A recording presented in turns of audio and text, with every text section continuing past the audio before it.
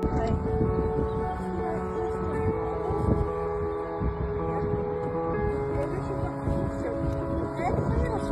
know.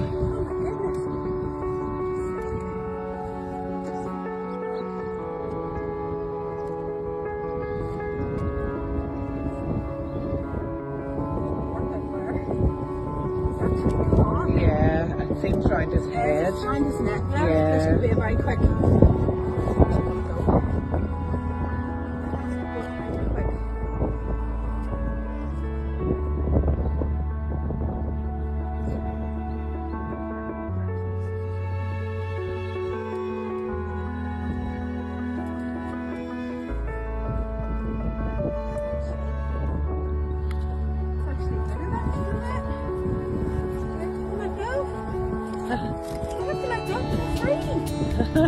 Actually free.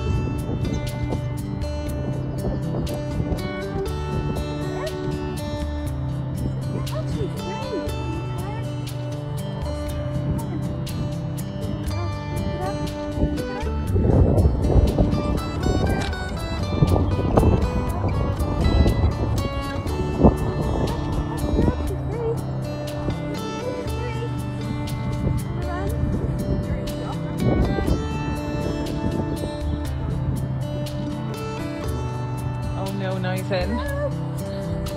Oh no. Oh, there we go. Hey! he's a skip. Get himself into that vegetation there. Yeah.